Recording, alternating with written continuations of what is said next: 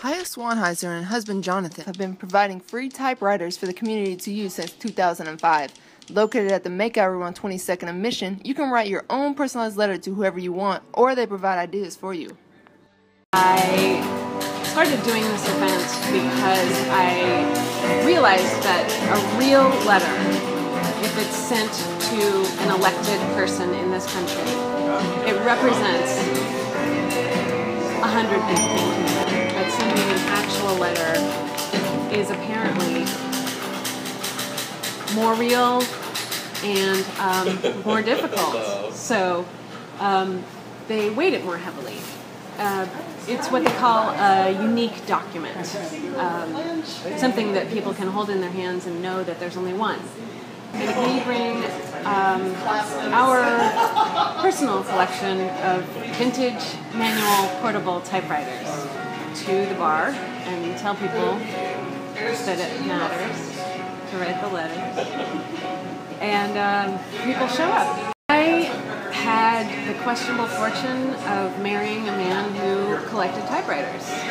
I have a lot of typewriters, and I, I some people say that I collect typewriters, but I don't like that word. It's a bit strong. It's more like I bought a typewriter in high school to write my papers on because it was before we had computers. And you could have an electric typewriter at that time, but you could also buy a manual typewriter at the Goodwill for five dollars. And uh, once I bought my first typewriter for five dollars, I kept seeing more typewriters for five dollars, and I always thought it was such a bargain that uh, wound up with a lot of typewriters. But when Haya, my wife, started this event, then we started to actually have um, typewriters that would work, and that was a whole new challenge.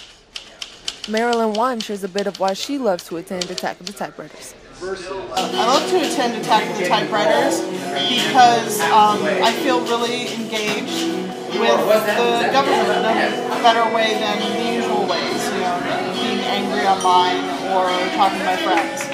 I've come like three or four times. Every month there's something that gets in the way and I feel really sad to miss it, but I'm so glad that it's here every month. And you can like walk in and see people typing about all these different topics and it's really um, inspiring and heartwarming and uh, good to hang out with other people doing it together too. You can join Attack of the Typewriters the first Monday of each month at the Makeout Room, or you can visit their website at attackofthetypewriters.tumblr.com. I'm Molly O'Brien for your Academy of Art, K Art News.